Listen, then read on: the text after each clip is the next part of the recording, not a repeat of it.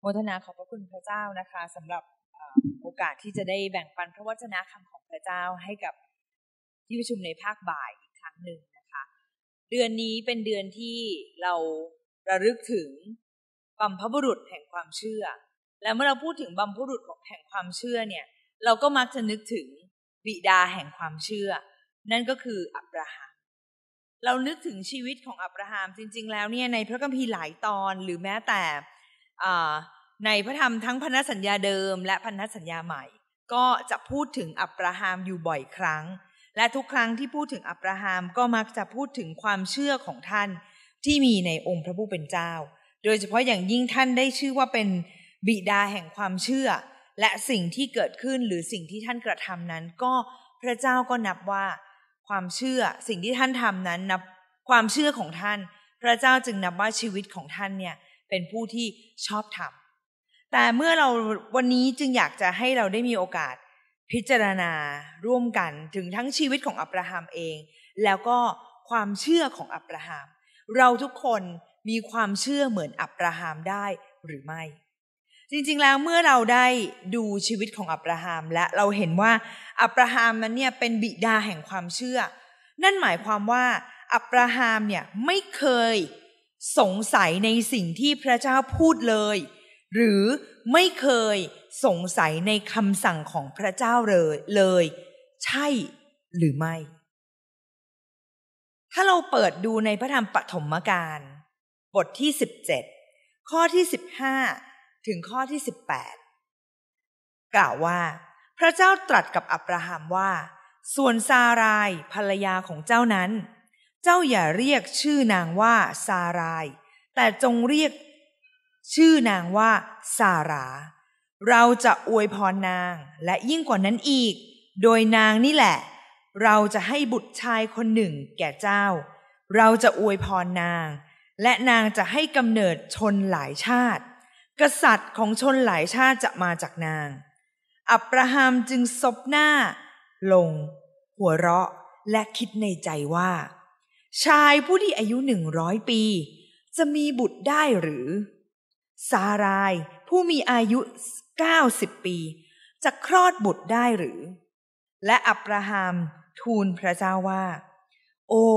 ขอให้อิชมาเอลมีชีวิตอยู่เฉพาะพระพักพระพระองค์ พระเจ้าตรัสว่า นี่ที่แน่นั้นคือซารายภรรยาของเจ้าจะคลอดบุตรชายคนหนึ่ง ให้เจ้า และเจ้าจงตั้งชื่อเขาว่า อิสาพี่น้องคิดว่า อับราฮัมเชื่อพระเจ้า โดยไม่สงสัยเลย ใช่หรือไม่ ในพระคัมภีร์ตอนนี้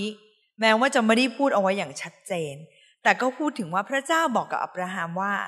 อับราฮัมจะเป็นบิดาของชนหลายชาติ แต่ในเวลานั้นเอง ลูกแม้แต่พระธรรมตอนนี้เนี่ย หรือสิ่งที่พระเจ้าบอกกับอับราฮัมตอนนี้ พระเจ้าไม่ได้บอกกับอับราฮัมคนเดียว พระเจ้ากำลังบอกกับนางซาราภรรยาของอับราฮัมด้วย นั่นหมายความว่า พระเจ้าบอกว่าเขากำลังจะมีลูก นางซารากำลังจะมีลูก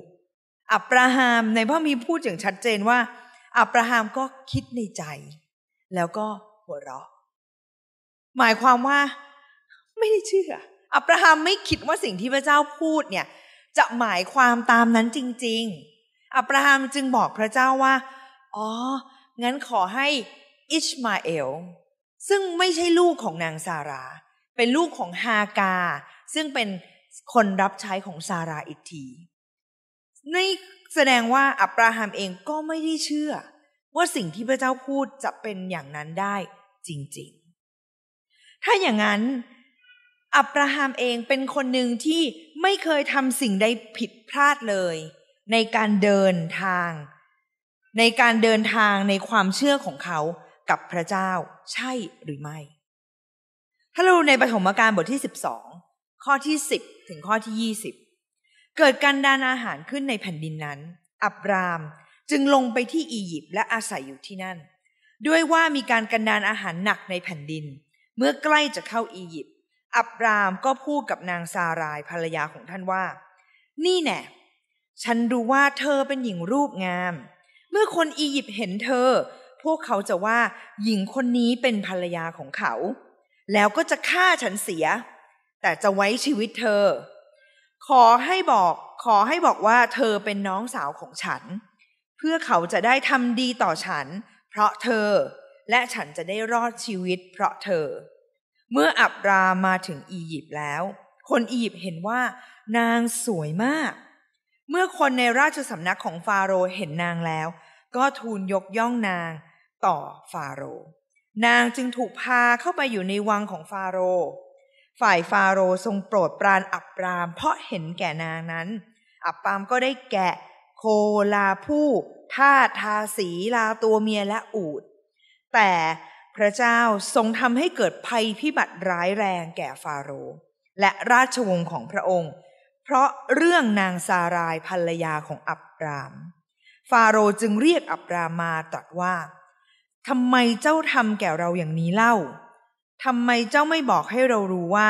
นางเป็นภรรยาของเจ้าทำไมเจ้าว่าเธอเป็นน้องสาวของข้าพระบาท เราจึงรับนางมาเพื่อเป็นภรรยา นี่แน่ภรรยาของเจ้าจงรับไปแล้วออกไป ฟาโรตรัสสั่งพวกมหาเล็กเรื่องอับราม พวกเขาจึงส่งอับรามไปกับภรรยาและทรัพย์สมบัติทั้งหมดของท่าน ถามว่าอับรามหรืออับราฮัมไม่ได้ทำผิดเลยในชีวิตของเขาใช่หรือไม่ เราเห็นจากในพระคัมภีร์ตอนนี้ อับราฮัมเองก็เป็นมนุษย์คนหนึ่ง อยากรู้สึกว่าตัวเองอยากจะรอดชีวิต เขาก็คิดในระดับความคิดของมนุษย์ เพื่อที่จะให้ตัวเองนั้นรอดปลอดภัย แต่อย่าลืมว่าจากเหตุการณ์นี้ไม่ใช่แค่อับรามไม่ใช่แค่อับราฮัมเท่านั้นที่ประสบภัยพิบัติ แต่ภัยพิบัตินั้นเกิดขึ้นกับคนอียิปต์ด้วย อับราฮัมเองเราดูหลายครั้งเมื่อเราพิจารณาชีวิตของอับราฮัมเราก็จะเห็นว่าท่านเป็นคนที่มีความเชื่อ ท่านเดินทางออกจากบ้านของท่าน แม้ว่าไม่รู้ว่าจะไปที่ไหน แต่เมื่อพระเจ้าบอกท่านก็เดินไป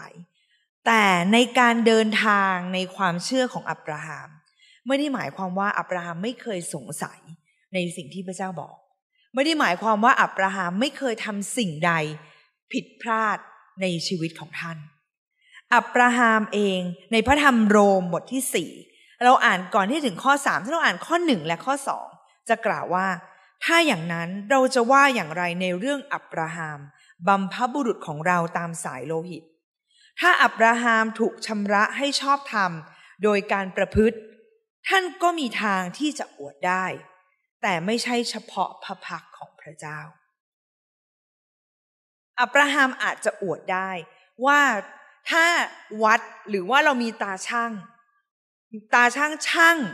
ความเชื่อของท่าน กับความผิดพลาดในชีวิตของท่าน ความเชื่อของท่านอาจจะมีน้ำหนักที่มากกว่า นี่คือการอวดได้ในสายตาของมนุษย์ แต่ถ้าจะอวดได้ในสายพระเนตรของพระเจ้า นั่นหมายความว่าสิ่งเหล่านี้อาจจะไม่มี ถ้าอับราฮัมรอด โดยการประพฤติของท่านเพียงอย่างเดียว แต่ในความเป็นจริงแล้ว อับราฮัมเองก็ไม่ได้ต่างอะไรจากชีวิตของเรา ท่านก็มีความผิดพลาด มีความสงสัยที่เกิดขึ้นได้ในชีวิตของท่าน แต่สิ่งที่สำคัญที่สุดในชีวิตของอับราฮัมนั่นคือรากฐานของความเชื่อ ต่างหากที่พระเจ้านับว่าท่านเป็นผู้ชอบธรรมรากฐานเป็นสิ่งที่สำคัญ ที่สุดในความเชื่อ ถ้าเราไม่ได้ถูกสร้างรากฐานในความเชื่อที่แข็งแรง บ้านที่ไม่มีรากฐานที่แข็งแรง แม้ว่าข้างบนจะสวย แต่เมื่อรากฐานไม่แข็งแรง บ้านทั้งหลังก็สามารถล้มลงหรือถูกพายุ เพียงแค่ไม่ได้หนักหนาเท่าไหร่นัก ก็สามารถพัดบ้านทั้งหลังออกไปได้ พระธรรมปฐมกาลบทที่ 22 ได้พูดถึงชีวิตของอับราฮัม พูดถึงการทดลองที่มาถึงชีวิตของอับราฮัมและเป็นการทดลองใหญ่ พระเจ้าตรัสกับอับราฮัมว่า พระเจ้าทรงเรียกอับราฮัมในพระบีตอนนี้บอกว่าต่อมาพระเจ้าทรงทดลองอับราฮัมแล้วตรัสกับท่านว่า อับราฮัมท่านทูลว่าข้าพระองค์อยู่ที่นี่ พระองค์ตรัสว่าจงพาบุตรของเจ้าคืออิสอัก บุตรคนเดียวของเจ้าผู้ที่เจ้ารัก ไปยังดินแดนโมริยา และถวายเขาให้เป็นเครื่องบูชา บนภูเขาลูกหนึ่ง ซึ่งเราจะบอกแก่เจ้า อับราฮัมจึงลุกขึ้นแต่เช้ามืด ผูกอานลาของท่าน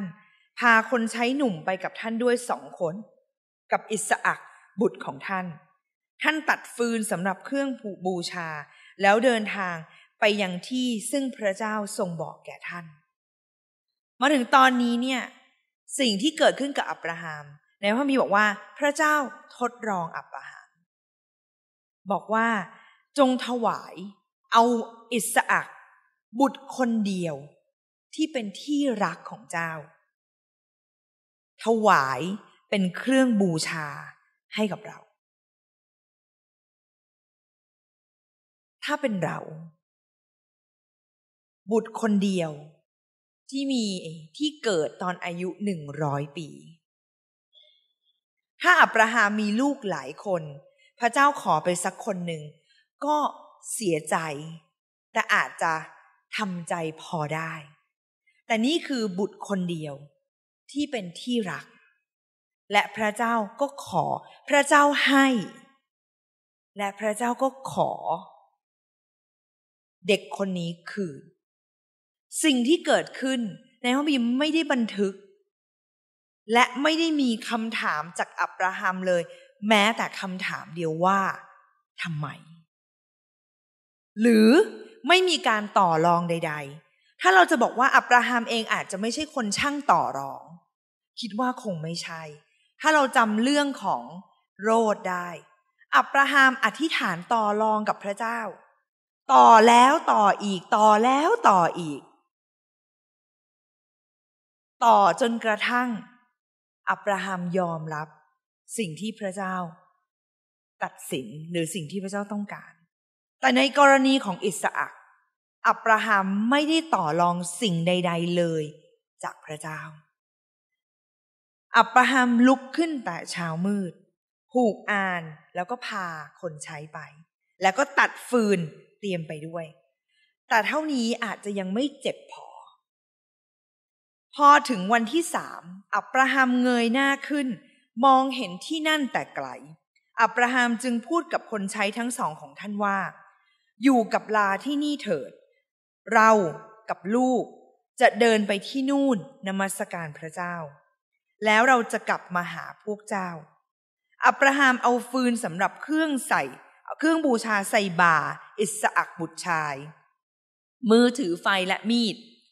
แล้วพ่อลูกไปด้วยกัน อิสอักพูดกับบิดาว่า พ่อ และท่านตอบว่า ลูกเอ๋ยพ่ออยู่ที่นี่ ลูกจึงว่า นี่ไฟและฟืน แต่ลูกแกะสำหรับเครื่องบูชาอยู่ที่ไหน อับราฮัมตอบว่า ลูกเอ๋ย พระเจ้าจะทรงจัดหาลูกแกะสำหรับพระองค์เองเป็นเครื่องบูชา อับราฮัมรู้อยู่แก่ใจ ว่าลูกแกะที่พระเจ้าต้องการ ก็คืออิสอักนั่นแหละ แต่อับราฮัมจะบอกได้ยังไง ว่าเจ้านั่นแหละ เป็นลูกแกะของพระเจ้า จริงสำหรับคนเป็นพ่อเป็นแม่ ถ้าเรารู้ว่าอีกไม่กี่ กิโลไม่กี่เมตรข้างหน้า เราจะต้องทำสิ่งที่เราไม่อยากทำที่สุด เราไม่อยากแม้กระทั่งจะคิดถึงมันด้วยซ้ำแต่นี่คือลูกถาม แล้วเราก็บอกไม่ได้ และเราก็ไม่อยากจะทำมันคือความเจ็บปวด มันคือสิ่งที่ไม่รู้ว่า อับราฮัมไม่มีทางรู้เลยว่า พระเจ้าจะจัดเตรียมสิ่งอื่นให้หรือเปล่า เพราะว่าสิ่งเดียวที่เขารู้ คืออิสอักคือแกะของพระเจ้า และเขาก็ต้องทำสิ่งนั้น และทั้งสองก็เดินต่อไปด้วยกัน เมื่อเขาทั้งสองมาถมาถึงที่ซึ่งพระเจ้าตรัสบอกเขาไว้ อับราฮัมก็สร้างแท่นบูชา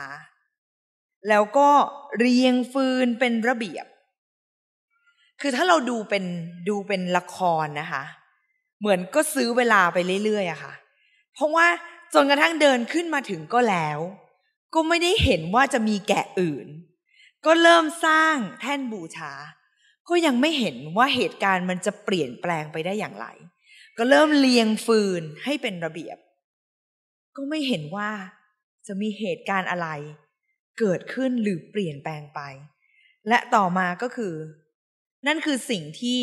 มันเป็นการคาบเกี่ยวนะคะ ถ้าเราคิดถึงว่าเป็นเราเอง อับราฮัมมัดอิสอักถึงตรงนั้นเนี่ย เราจะมองหน้าลูกเรายังไง ถึงตรงนั้นอิสอักก็ต้องรู้แล้วว่า แกะที่พูดถึงนั่นน่ะ มันคือเขา เพราะพ่อจับเขามัด อิสอักคงถามว่า มัดเขาทำไม พ่อจะทำอะไรกับเขา และเขาก็วางลูกของเขา ไว้บนแท่นบูชา แล้วอับราฮัมก็ยื่นมือจับมีดจะฆ่าบุตรชาย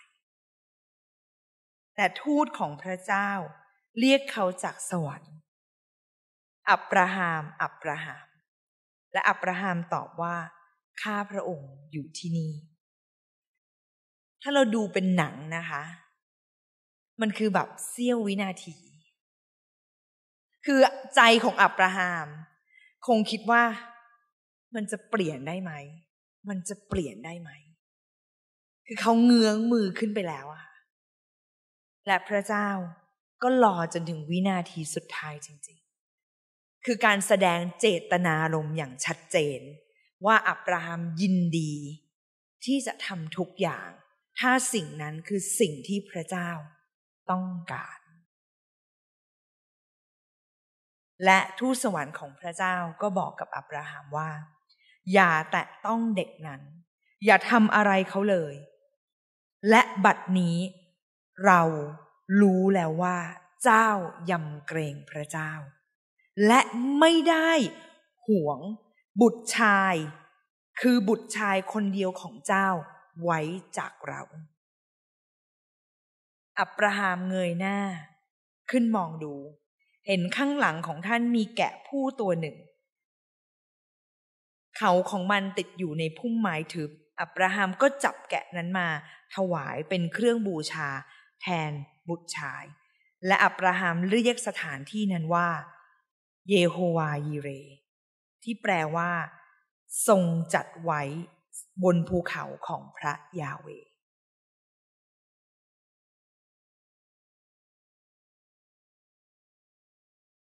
มันง่ายมากเวลาที่พระเจ้าให้บางสิ่งบางอย่างในชีวิตของเรา และเราก็รู้สึกว่าสิ่งนั้นเป็นของของเรา เมื่อพระเจ้าให้แล้ว มันเป็นของของเรา พระเจ้าไม่มีสิทธิ์ที่จะเอามันไป แต่ถ้าพระเจ้าปรารถนาสิ่งที่พระเจ้าต้องการ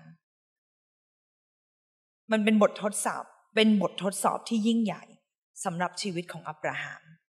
และอับราฮัมก็ผ่านบททดสอบนี้ไป และนี่เองทำให้ชีวิตของท่าน ความเชื่อและไว้วางใจพระเจ้า ในชีวิตของอับราฮัมพระเจ้าจึงถือว่าอับราฮัมเป็นคนชอบธรรมพระคัมภีร์ว่าอับราฮัมเชื่อพระเจ้า พระองค์ทรงถือว่า ท่านเป็นคนชอบธรรม ท่านไม่ได้หวั่นไหว แคลงใจในพระสัญญาของพระเจ้า ท่านเชื่อ มั่นคงจึงถวายเกียรติแด่พระเจ้า ท่านเชื่อมั่นว่า พระเจ้าทรงสามารถทำสิ่งที่ทรงสัญญาไว้ ด้วยเหตุนี้เอง พระองค์ทรงถือว่า ท่านเป็นคนชอบธรรมสิ่งหนึ่งคือเราอย่าลืมว่า ก่อนหน้าที่พระเจ้าจะบอกกับอับราฮัมว่าอับราฮัมจะมีลูก พระเจ้าสัญญากับอับราฮัมว่า ท่านจะมีลูก และบุตรและท่านจะเป็นบิดาแห่งชนชาติใหญ่ ถ้าอับราฮัมคิดว่า หรือสงสัยในพระสัญญาของพระเจ้า อับราฮัมสามารถที่จะต่อรองกับพระเจ้า ว่าพระองค์ทรงสัญญาไว้แล้วมิใช่หรือ ว่าบุตรคนนี้จะเป็นผู้ เป็นชนเป็นชนชาติของพระเจ้า จะเป็นผู้สืบทอดบัมพบุรุษจะข้าพระเจ้าจะเป็นบัมพบุรุษเขาจะเป็นผู้สืบทอด ความเชื่อของพระเจ้า พระเจ้าจะเอาเขาไปได้ยังไง แต่อับราฮัมไม่ได้มีคำถาม ไม่ได้มีข้อโต้แย้ง และพระเจ้าในพระมีตอนนี้บอกว่าท่านไม่ได้หวั่นไหวหรือคลางแคลงใจ ว่าพระสัญญาของพระเจ้ามันจะไม่เป็นจริง แต่ท่านเชื่อมัน่นไม่รู้ว่าพระเจ้าจะจัดเตรียมด้วยวิธีไหน พระเจ้าอาจจะให้อับราฮัมอับราฮัมคิดแบบเราสามารถคิดได้ อิสอักตายก็อาจจะเป็นไปได้ และพระเจ้าก็อาจจะให้อับราฮัมมีลูกอีกคนนึงก็ได้ ถ้าจะสามารถคิดได้อย่างนั้น แต่สิ่งหนึ่งคืออับราฮัมเราไม่รู้ว่าอับราฮัมคิดอย่างไร แต่เรารู้ว่าการกระทำของอับราฮัมแสดงให้เห็นว่าท่านไม่ได้คลางแคลงใจ ความเชื่อของท่านตั้งมั่นคง อยู่บนพระสัญญาของพระเจ้า และท่านปรารถนาจะถวายเกียรติพระเจ้าด้วยชีวิตของท่านเอง และนั่นเองพระเจ้าทรงถือว่า ท่านเป็นคนชอบธรรมในการเดินทางในความเชื่อนั้นไม่ได้หมายความว่า เราจะไม่พบบททดสอบใด ๆ ในชีวิต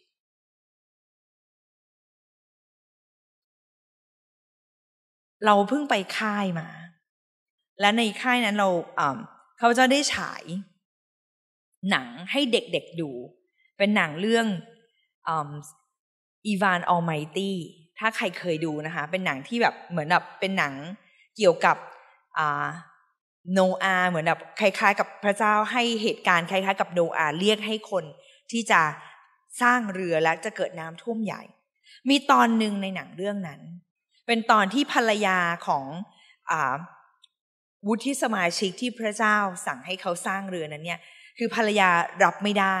กับสิ่งที่เกิดขึ้น แล้วก็ไม่เชื่อคิดว่าสามีคงเป็นบ้าไปแล้ว เขาก็พาลูกของเขาออก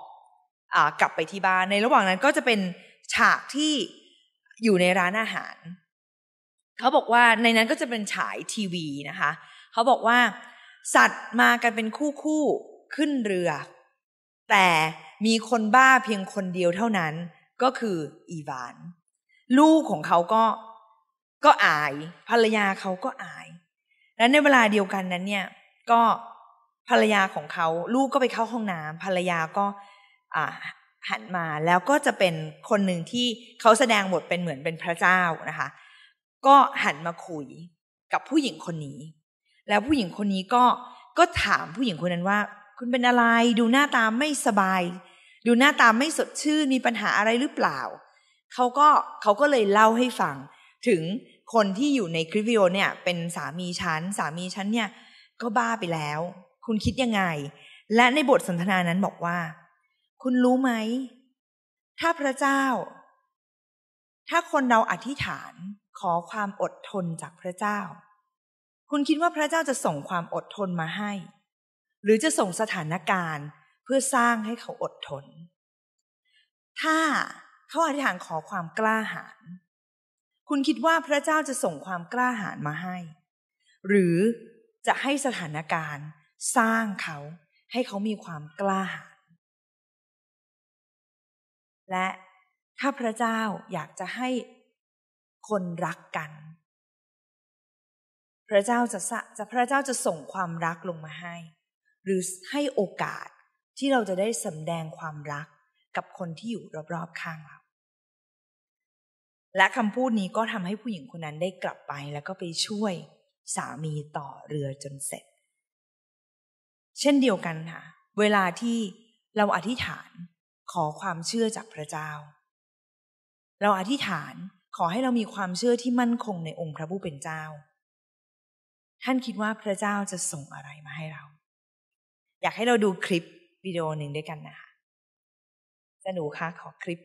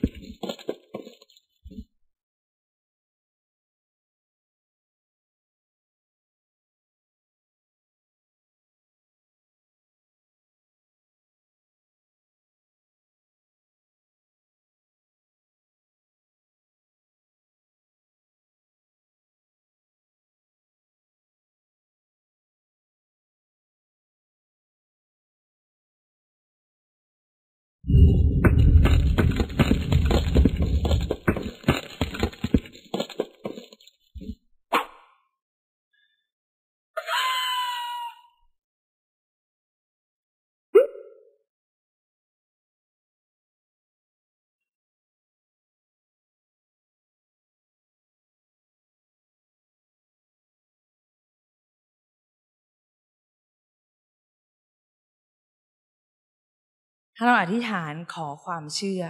เราคิดว่าพระเจ้าจะส่งอะไรมาให้ค่ะ ไม่มีความเชื่อลอยลงมาจากฟ้าให้เรา แต่มันจะมีสถานการณ์ หลาย ๆ สถานการณ์ที่เป็นบททดสอบความเชื่อของเรา และเมื่อเราสามารถผ่านบททดสอบเหล่านั้นมาได้ ความเชื่อของเราก็จะมั่นคงเรื่อยๆ เพราะสิ่งที่เรารู้ว่าเราไม่ได้ผ่านบททดสอบ เราไม่ได้ผ่านสถานการณ์ต่าง ๆ เหล่านั้น โดยลำพังชีวิตของเราเอง พระเจ้าคอยประคับประคอง คอยช่วยเหลือ สิ่งที่เราไม่คิดว่ามันจะเป็นไปได้ อย่างในคลิปวิดีโอเมื่อกี้ที่เราเห็น คนนั้นเขาบอกว่า เขารู้ว่าเขากระโดดไปไม่ถึงหรอก มันไม่มีทางที่จะโดดไปถึงอยู่แล้ว มีแค่สิ่งอัศจรรย์เท่านั้นน่ะ ที่จะทำให้เขาบินได้ ถึงจะสามารถกระโดดไปอีกฟากหนึ่งได้ แต่เมื่อสิ่งสถานการณ์มันตามมาข้างหลังอะค่ะ ไม่โดดก็ตาย ก็ต้องเลือกเอาว่าจะโดดหรือเปล่า สุดท้ายเขาก็โดดอะค่ะ และในความคิดของเขาก็คือ มันก็ไม่ถึง แล้วเขาบอกว่า ก็เห็นไหมบอกแล้วว่าไม่มีทางกระโดดถึง แต่สิ่งที่เจอก็คือ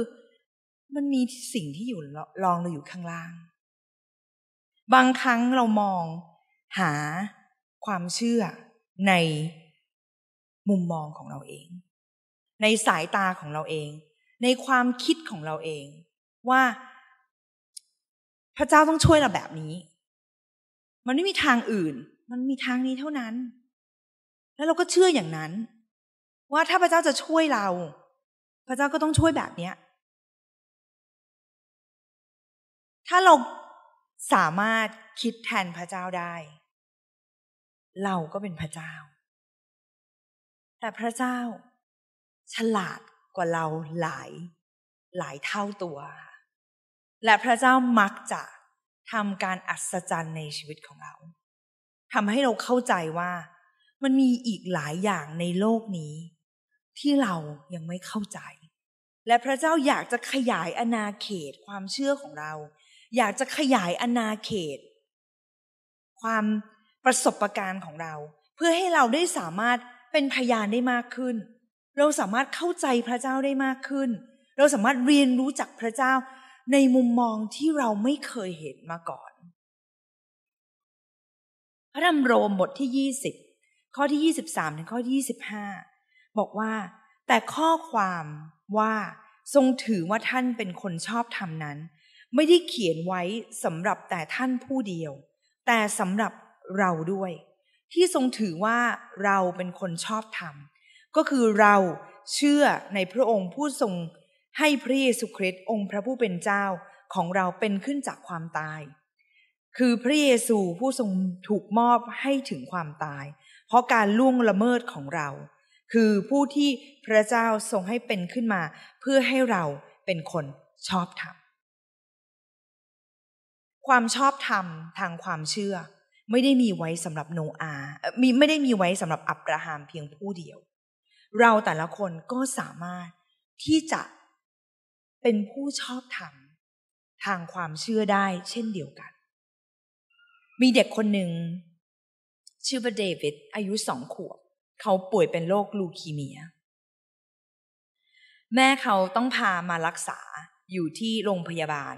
ที่บอสตัน แล้วก็ต้องเจอกับด็อกเตอร์ชื่อว่าด็อกเตอร์ทรูแมนเด็กอายุสองขวบต้องผ่านกระบวนการในการรักษามากมาย ต้องถูกฉีดยา และหมอก็บอกว่า โอกาสที่เขาจะรอดมันเพียงเพียงแค่ห้าสิบห้าสิบเขาจะต้องผ่าน เขาจะต้องไปเจอไปคลินิกหมอ ผ่านการเจาะเลือด ผ่านการทดสอบหลายสิ่งหลายอย่าง สำหรับเด็กอายุสองขวบมันคือความทรมาน และสิ่งที่ทรมานมากกว่าก็คือแม่ ที่จะต้องอุ้มเขา จะต้องเห็นลูกทรมาน มันเป็นความเจ็บปวดสำหรับเขา แต่สิ่งหนึ่งคือเดวิดไม่เคยร้องเลย ในระหว่างที่รออยู่ในห้องในในแบบเก้าอี้ที่รอที่จะเจอคุณหมอ หรือเขาจะหันมายิ้มให้แม่เขาเสมอ และเขาก็ไม่คือและทุกครั้งคือ แม้ว่าจะมีคนในในในโรงพยาบาลที่ร้องไห้หรือก็ตาม แต่เขาก็จะไม่เคยร้องไห้และในและแม่เขาเคยบอก แม่เขาจะบอกกับเขาว่าเดวิดในการมันจะมันจะเจ็บนะลูก ลูกต้องจำเอาไว้ว่า เพราะว่าคุณหมอ รักหนู อยากให้หนูหายดี แต่มันจะเจ็บนะลูก และมาถึงสุดท้ายแล้ว ในจะต้องเขาจะต้องผ่านการทำทำกระบวนการหนึ่งซึ่งจะเจ็บปวดมากที่สุด ในการในกระบวนการการรักษา แล้วในครั้งนั้นเนี่ยต้องใช้พยาบาลถึงสามคนในการอุ้มหรือจับตัวเดวิดให้อยู่นิ่ง ๆ และ เขาเอง เพราะว่ามันเจ็บปวดมาก เขาก็ทั้งร้อง แล้วก็ทรมานมาก ๆ แต่ในขณะที่กระบวนการทั้งหมดเนี่ยกำลังจะเสร็จ เด็กตัวเล็ก ๆ เพราะว่าเขาผ่านกระบวนการรักษามาเยอะนะคะ ตอนนี้เขาก็อายุประมาณสี่ขวบ แล้วก็ในระหว่างที่เกือบจะเสร็จอยู่แล้ว เด็กตัวเล็กคนหนึ่งทั้งหน้าก็เต็มไปด้วยน้ำตา เขาหันมา จับมือคุณหมอ แล้วบอกว่า thank you Dr. Truman for my hurting หมอทูแมนขอบคุณครับสำหรับความเจ็บปวด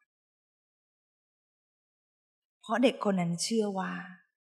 หมอรักเขา และหมอจะทำให้เขาดีขึ้น เวลาพระเจ้ารักเรา ไม่ได้หมายความว่าเราจะไม่เจอความเจ็บปวดในชีวิต ไม่ได้หมายความว่าเราจะไม่ผ่านกระบวนการการสงสัยน้ำพระทัยของพระเจ้า หรือไม่ได้หมายความว่าเราจะไม่เคยเดินในหนทางแห่งความเชื่อที่ผิดพลาด หรือทำบางสิ่งบางอย่างที่ผิดพลาดไป แต่สิ่งหนึ่งที่สำคัญ ถ้าลากฐานแห่งความเชื่อของเรา อยู่บนรากฐานแห่งความเชื่อ ว่าพระเยซูคริสต์ไถ่ชีวิตของเรา ไม่ว่าอะไรจะเกิดขึ้นในชีวิตของเรา เราจะสามารถผ่านมันไปได้ และความเชื่อของเรา มันจะไม่หดหายไป เพราะว่ารากฐานนั้นมันแข็งแรง แต่สิ่งหนึ่งที่สำคัญนะคะ เราเองจะต้องสร้างรากฐานของเรา ในความเชื่อที่แข็งแรง รากฐานที่แข็งแรง ไม่ได้เกิดขึ้น ได้เพียงชั่วข้ามคืน และไม่สามารถเกิดขึ้นได้เพียงแค่คุณนั่งอยู่เฉยๆ และคุณจะมีความเชื่อในพระเจ้าเพิ่มมากขึ้น คุณต้องทำในส่วนของคุณ คุณต้องแสวงหาพระเจ้า อ่านพระวจนะคำของพระองค์ มีความตั้งใจอยากจะรู้จักกับพระเจ้ามากขึ้นทุกวันทุกวัน เข้าใจน้ำพระทัยของพระเจ้า คุณต้องผ่านช่วงเวลา หัวเลี้ยวหัวต่อของความเชื่อ เวลาที่เราเจอความทุกข์ยากลำบากในชีวิต เวลาที่เราเจอกับคำสงสัย เราเจอกับการดูถูก เราเจอสิ่งสารพัดมากมาย ความเชื่อของเราต้องยิ่งหยั่งลากในพระเจ้า นี่คือส่วนของเรา เราไม่สามารถนั่งอยู่นิ่ง ๆ แล้วคิดว่าวันหนึ่งเราจะเชื่อพระเจ้ามากขึ้น เราไม่สามารถที่จะเอาพระคัมภีร์หนุนหัว แล้วคิดว่าวันหนึ่ง เนื้อหาในพระวีร์มันจะไหลเข้ามาในความคิด ความเชื่อของเราเอง มันเป็นไปอย่างนั้นไม่ได้ เราต้องทำส่วนของเรา เราต้องอ่านพระวจนะคำของพระเจ้า ต้องกระหายหา อยากที่จะรู้จักกับพระเจ้ามากขึ้นทุกวันทุกวันทุกวัน อย่างคนหลายคนอยากที่จะมีสุขภาพที่แข็งแรง แต่เราไม่ได้ออกไปทำอะไรให้สุขภาพเราแข็งแรงอะค่ะเราไม่ได้ออกไปวิ่ง เราไม่ได้ออกไปออกกำลังกาย เราไม่ได้ทานอาหารที่ดีแแต่เราคิดว่าเราอยากมีสุขภาพที่แข็งแรง เราก็คิดได้นะคะ แต่ร่างกายของเราจะไม่มีวันแข็งแรง เพียงแค่เราอยาก และข้าพเจ้าเชื่อแน่ว่า เราทุกคนอยากเป็นคนที่พระเจ้าพอพระทยัยเราเป็นคนอยากที่จะมีความเชื่อที่แข็งแรง เราก็ต้องลงมือ ก้าวออกไปทำบางสิ่งบางอย่าง และเมื่อเราทำส่วนของเรา เราสร้างรากฐานของเรา พระเจ้าก็จะทำส่วนของพระองค์ เราทำส่วนของเรา พระเจ้าทำส่วนของพระเจ้า เมื่อรากฐานความเชื่อของเรามั่นคง เหตุการณ์สถานการณ์ใด ๆ ก็ไม่สามารถที่จะสั่นคลอนความเชื่อของเราได้ และข้าพเจ้าก็อยากหนุนใจพี่น้องว่า อยากอยากให้วันเวลา ในการที่เรารู้จักกับพระเจ้า ไม่ว่าเราจะผ่านไปกี่ปี แต่ละปีแต่ละวัน เราจะรู้จักพระเจ้าในมุมมองใหม่ ๆ เสมอ ไม่ว่าวันนี้เราจะเป็นยังไง ถ้าเรารู้ว่าสิบปีที่ผ่านมาหนึ่งปีที่ผ่านมาหนึ่งเดือนที่ผ่านมาหนึ่งอาทิตย์ที่ผ่านมา เรายังรู้จักพระเจ้าในมุมมองแบบเดิมอยู่เสมอ อธิษฐาน ขอพระเจ้าว่าเราอยากรู้จักพระเจ้ามากขึ้น เราอยากรู้จักพระเจ้าในมุมมองที่แตกต่างไปมากขึ้น แล้วสิ่งหนึ่งคือ อย่ากกลัวบททดสอบ เพราะบททดสอบ มันจะทำให้เราแข็งแรงมากขึ้น และเราจะใกล้ชิดพระเจ้ามากขึ้น เพราะเรารู้ว่า พระองค์ไม่ได้ห่างไปไหน พระองค์อยู่ใกล้ชิดชีวิตของเราเสมอ ขอพระเ